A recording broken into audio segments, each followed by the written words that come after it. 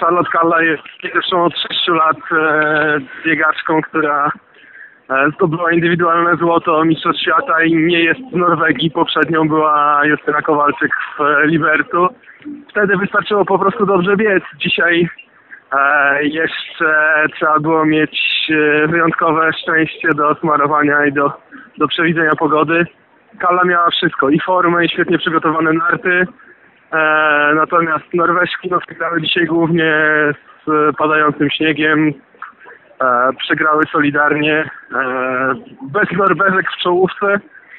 E, to się już nie zdarzyło od bardzo, bardzo dawna. Natomiast taki bieg na Mistrzostwach Świata już się zdarzył.